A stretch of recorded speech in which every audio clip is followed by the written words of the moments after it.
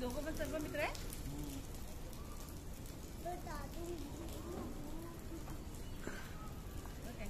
डोळे बघ त्याचे